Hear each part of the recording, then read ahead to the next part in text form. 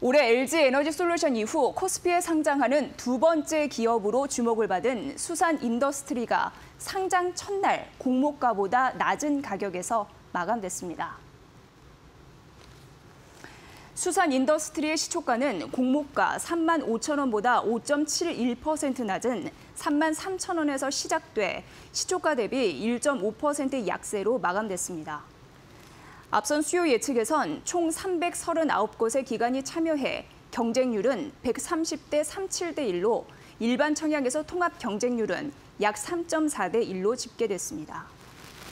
수산 인더스트리는 1983년 설립돼 주요 원자력, 화력, 신재생 에너지 등 다양한 발전 플랜트의 설비 가동률 제고와 불시 정지를 예방하는 발전 플랜트 종합 정비 사업을 영위하고 있습니다.